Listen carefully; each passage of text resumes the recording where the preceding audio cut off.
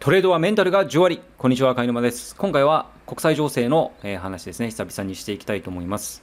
タイトルの通り、9月1日、要注意という内容になります。明日、何かしらマーケットに影響を与えるような、えーイベントなり、えー出来事が起こる可能性があるという話ですね。もちろん何も起きない可能性もあるんですけど、明日、実際何か起こるか起こらないかよりもあのそれが大事というよりもですね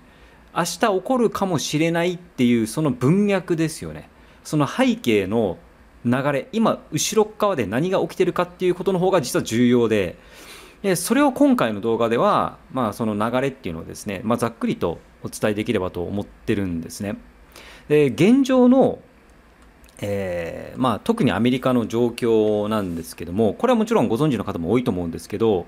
現状リーマンショックよりも結構深刻な状況っていうのは言われてるんですよね。でそれは何が深刻かっていうともちろんその金利の状況 FRB がずっとインフレで金利を上げてきてるっていうのもそうですし不動産市場の状況ですよね。特にその商業用の不動産。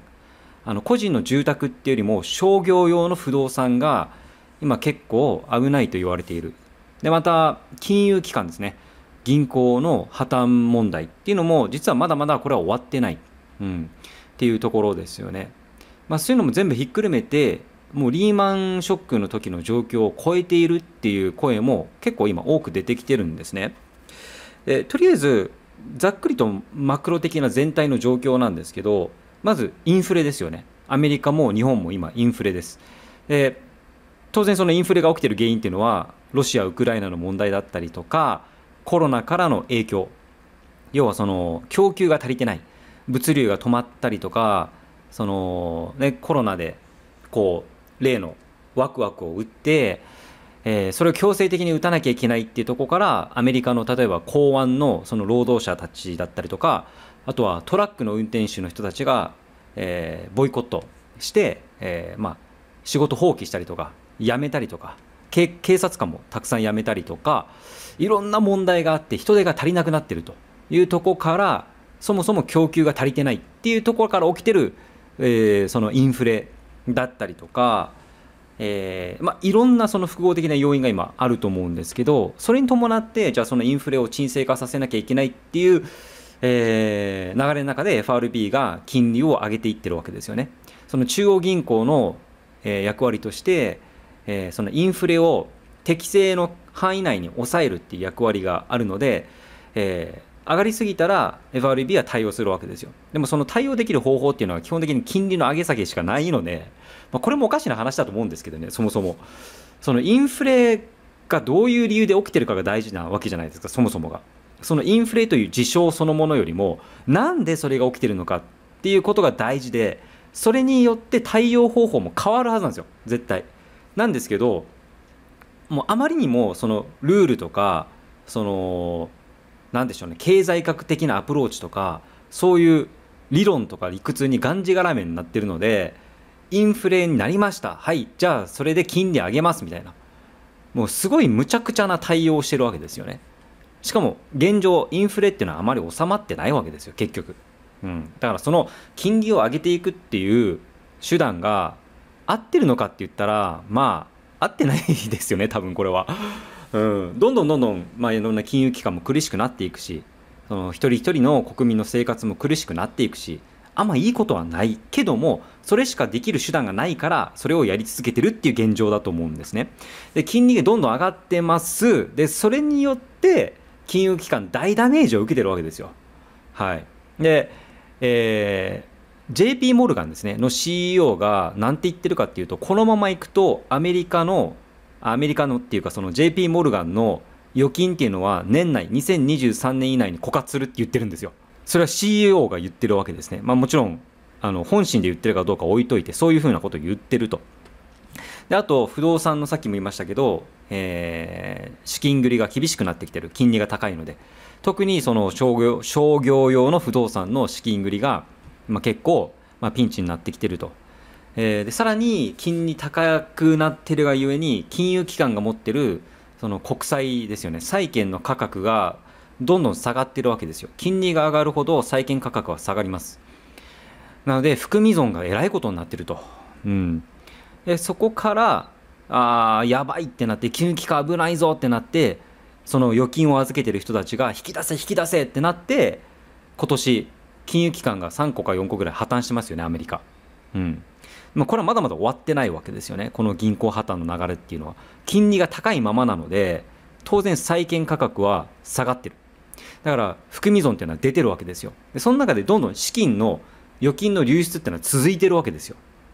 うん、だこれがまたいつ次の破綻につながるかっていうのは誰もわからないですけど全然まだ起こりうる状況だっていうことですね。はい、でそこから来る信用不安の流れから来るドル売り、えーまあ、とはアメリカの指数の売りっていうのが、まあ、今後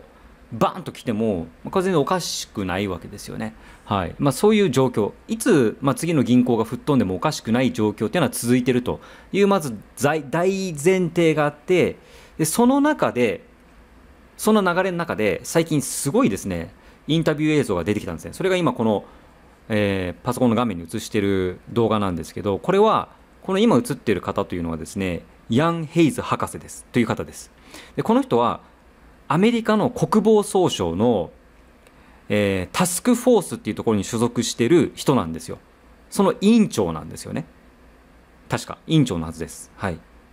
で、この人が、この、これ BBC、あ、BBC じゃないわ。えー、イギリスの多分番組のインタビューに答えてる、これ映像なんですけど、えー、2020年のアメリカの選挙の話をしてるんですよ。で、ここですごい暴露というか、そんなん普通に公に言っちゃっていいのっていうしかも国防総省の立場ある人がそれ言っちゃっていいんですかみたいな内容を喋ってるんですよ。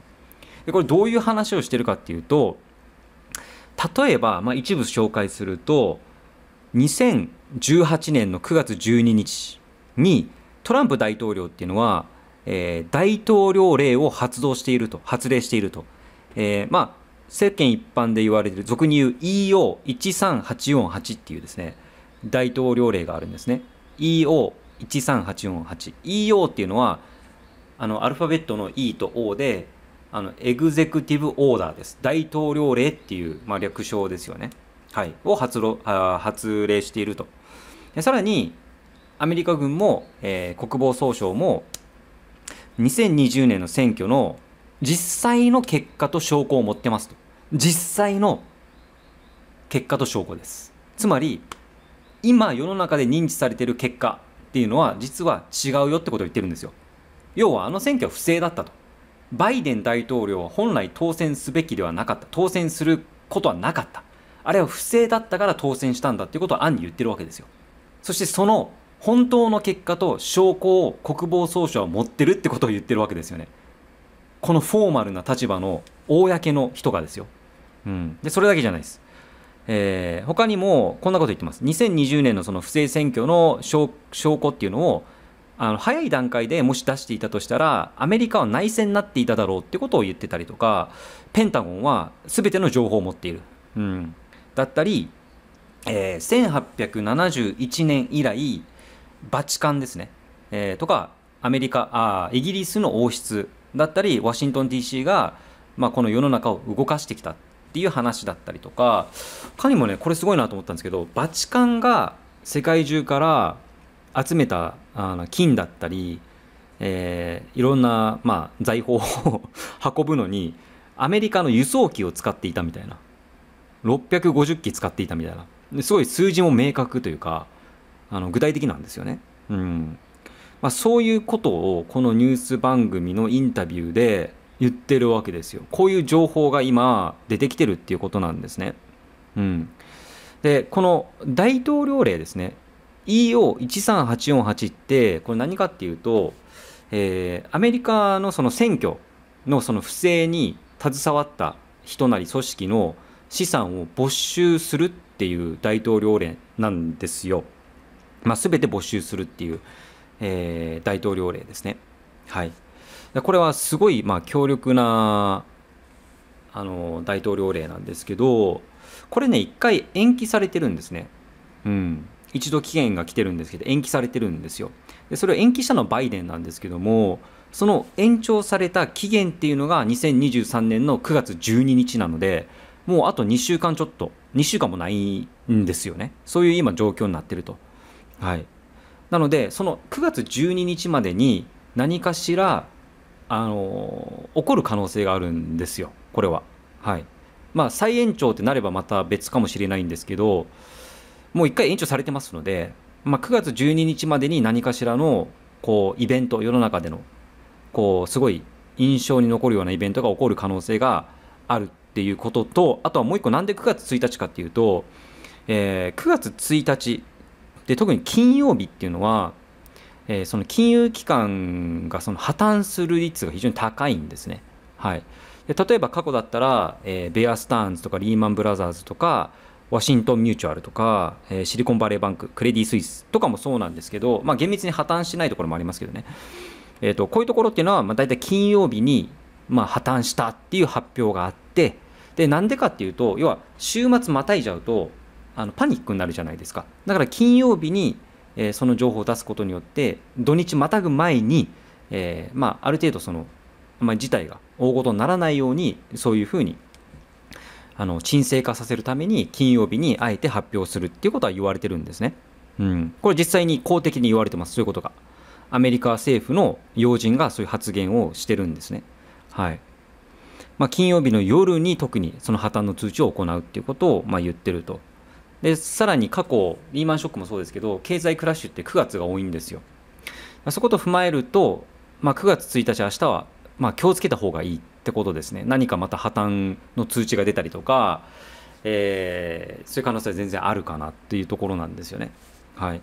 でさらにその大統領令が9月12日に控えてるっていうことですね。でその不正選挙に携わった人の全資産ドル建ての資産を没収するっていうこの大統領令が9月12日に控えてるっていうこのタイミングでその1ヶ月ちょい前の8月に国防総省のまあ要は要人が普通に公の番組でえー、この大統領令のことに触れているっていうことと不正選挙のことに触れてるっていうことは無関係なのかって言ったら関係してるっていうふうに捉えた方が自然ですよねこれは、うん、だって同じアメリカ政府の中のことですから。これは関係してるだろうと何かしら。って思う方がこれ自然だと思います。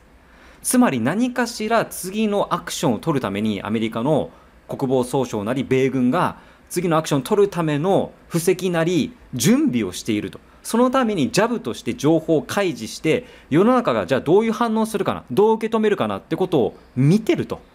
いうふうに捉えた方が自然だと思うんですよね。だからこうなってくるともう陰謀論がどうとかっていう話じゃないわけですよだってもう実際に国防総省の人が言ってるわけですからそれ陰謀論だという方がもう明らかにおかしいわけじゃないですか。であるならばそれを踏まえて僕らは何かしらのリスクを想定して準備しといた方がいいよねってことになると思います。うん、無防備でいるのは危ないと。何が起きてもちゃんと対応できるようにしっかりと、まあ、身構えておくというか、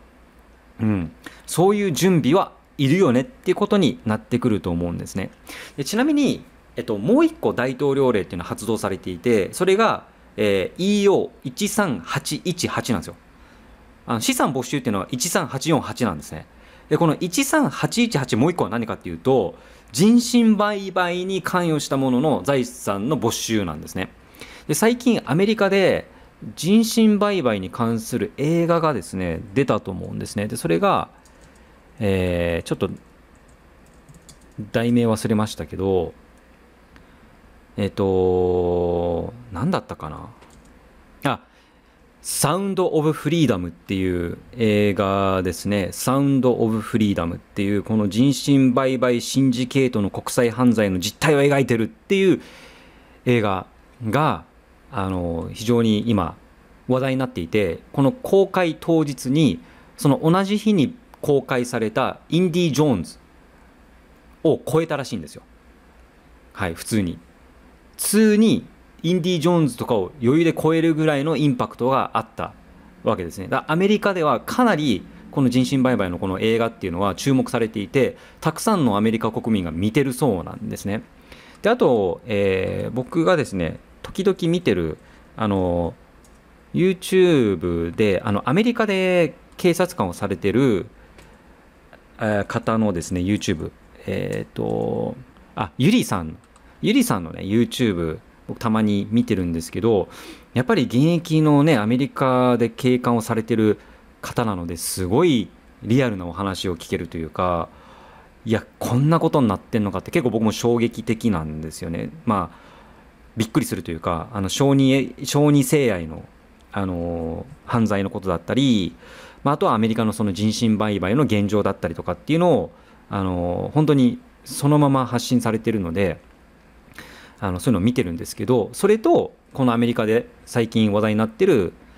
映画ですよね。サウンドフリーダム人身売買の映画だったり、えーそれに伴うま大統領令の発令があったりとか、まあ、さらに今回の不正選挙2020年の不正選挙の全容が今出てきてる。アメリカしかもそれはアメリカの公的な機関から情報がもう出始めてるっていうところを踏まえるとそろそろこれは何かに向けての準備がもう最終段階に来てる。要は上からガーッと降りていって最終的に一般のメディアなり僕らにその情報が届く頃にはもう大体準備っていうのはできてるわけじゃないですか。ということは9月中に何か起きても全然不思議じゃないよねって僕は捉えてます。はい、なのでそこは絶対トレードやってる人は気をつけた方がいいと思いますしよりよりこういった世の中の構造が大きく変わっていくタイミングっていうのは、まあ、先日、えージブリのですね「君たちはどう生きるか」っていう映画がすごい話題になりましたけどすごいこれ大事なテーマだなと僕も思うんですね。どう生きるのかってことこれから僕たちは本当にどう生きていくのか自分のこれからの人生この世の中どうやって生きていくのかどう関わっていくのか、うん、これはとても重要な問いだと思うんですね。はい、なのでこれは決して他人事ではないですしアメリカで起こることっていうのは絶対日本にもめちゃくちゃ影響があります。まあ、具体的にどういう影響があるかっていうのはまた今後お話しできたらなと思うんですけど、はい。えーということで、まあ、ぜひですね、えーしっかりアンテナを立てて、えーまあ、準備をして、この9月、しっかりと、えやっていければなと思います。また何か気づいたこととか、え入ってきた情報が何かしらね、調べてあれば、また共有させていただきます。